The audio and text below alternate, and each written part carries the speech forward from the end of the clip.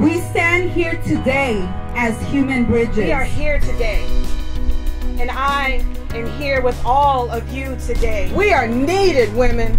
This world is looking for us, women. Love that moves us.